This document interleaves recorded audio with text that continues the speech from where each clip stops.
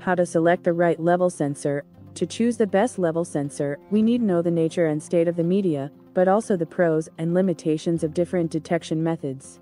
Below are currently the most common liquid level monitoring technologies. Hydrostatic.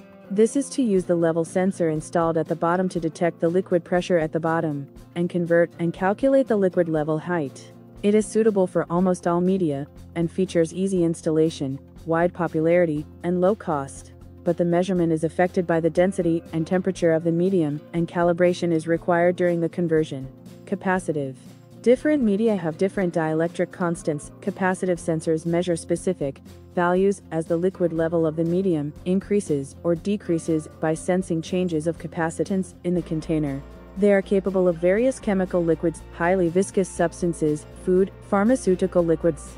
They feature high accuracy, good stability and reliability, provided that the medium needs to be calibrated. Ultrasonic. It works by the time of flight principle, using the speed of sound.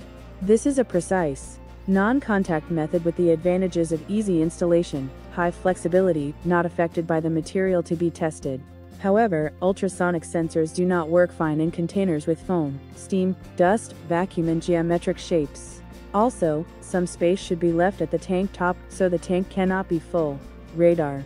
Its working principle is a function of TDR. The accuracy and stability are good, in addition, it is easy to install and calibrate, with good flexibility. It can be used to measure applications with foam, dust, and even stirring, while the dielectric constant of the medium needs to be considered, and there are requirements on installation, position, and flange height. Like ultrasonic sensors, radar level gauges have also blind spots.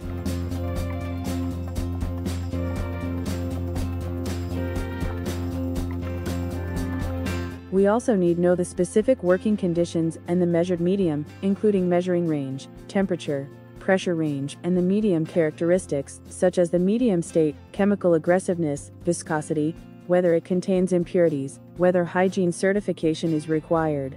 Then, we need make a final evaluation, including product budget, installation, and debugging and use environment, and so on. Contact us for more.